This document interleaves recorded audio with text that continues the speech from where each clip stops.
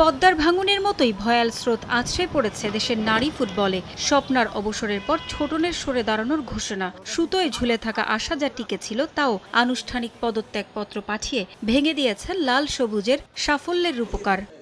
চলমান অস্থিরতার মাঝে ছোটনের আনুষ্ঠানিক পদত্যাগের দিনে জরুরি সভা বাফুফের আশায় বুক বাঁধল সবাই। এই বুঝি মিরাকেল কিছু করবেন কাজী সালাউদ্দিন। তবে ছোটনকে নিয়ে এলো না কোনো সিদ্ধান্ত। উল্টো অবসরের পক্ষে যুক্তি দিয়ে মেসি ম্যারাডোনার উদাহরণ টানলেন বাফুফের সভাপতি। নারী দলের একের পর এক ফুটবলারের অবসর নিয়েও নাকি চিন্তিত নন তিনি। মেয়ে যাচ্ছে, আসবে। এটা তো পৃথিবীর নিয়ম। ম্যারাডোনা নাই মেসি আসছে, মেসি যাবে, চলে যাবে ক্লাব ছেড়ে। আবার রোনাল্ডো চলে আসছে Saudi Arabia. This is a come and go process coach resign করবে, আবার কোচ আসবে, ওই কোচও রিজাইন করবে, আবার ওই কোচ স্যাক হবে।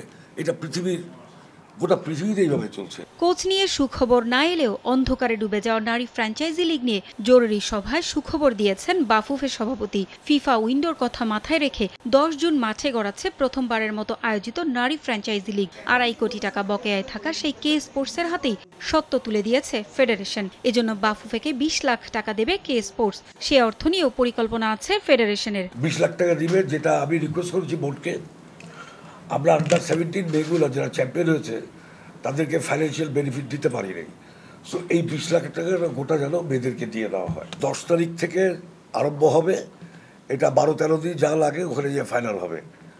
এবং এটা এখনই করার দরকার কারণটা হলো যে, না হলে ফিফা উইন্ডো থাকবে না।